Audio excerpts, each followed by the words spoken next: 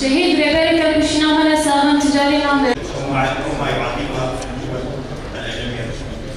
ان هذا التعريف وعندما نقارن الخدمات الجديده تطلب بكسب المال فان تلك الخ- تلك الخدمات تفقد صفتها تلك اول الصحية الذين عملوا بدأب وجهد كبيرين في ظروف استثنائية وصعبة حتى وصلوا إلى هذه المرحلة المتقدمة من تنظيم العمل الصحي واسمحوا لي أن أستذكر الشهيدة الدكتورة لكريم وكلكم تعرفون اعتبارها جيدا لتطوير المجال الصحي فكان نتاجهم أن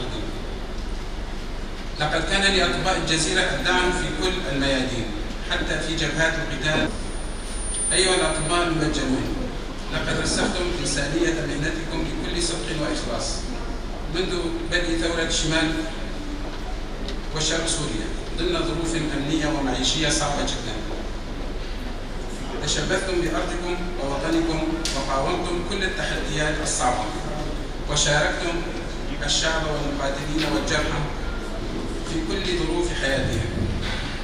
كنتم خير مثال في كل الأصعدة القادرة على الإجابة على كل الأسئلة التي يمكن طرحها في المجال الصحي وتكون جوابا للمرحلة القادمة.